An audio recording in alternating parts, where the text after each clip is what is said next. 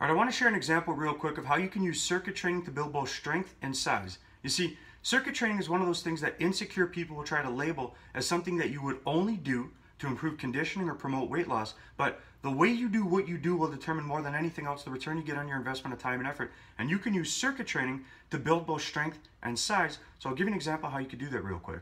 Now what you want to do is you want to pick three exercises. One push, one pull, one legs. The purpose to stimulate every major muscle in the body as you do your circuit.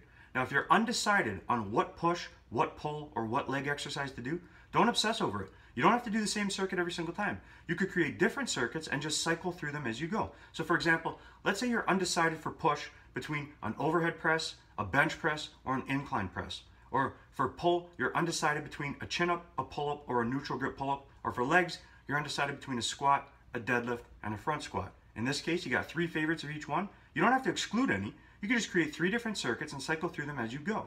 Now, irrespective of whether or not you choose to create different circuits and cycle through them or do the same circuit every single time, what you want to do is you want to pick a weight for each exercise that represents 80 to 85% of what you could lift for one for that exercise. It's not the same weight for all your exercises unless your strength is the same for all of them, but that's very rare. What you're going to do is you're going to aim for eight sets of two and you're performing your exercise in circuit fashion. So you go from overhead press to chin up to squat, back to overhead press, back to chin up, back to squat. That's an example of two rounds through the circuit. And for eight rounds, eight sets of two.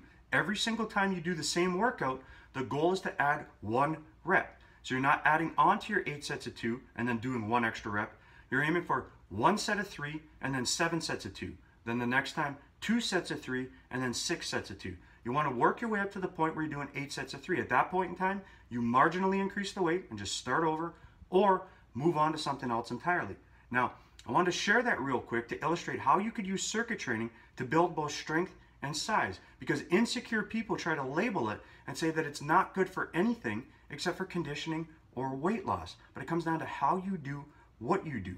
In an attempt to minimize something because you're insecure, the only limitation being placed on anything is the one you're placing on yourself because there are pros and cons to everything.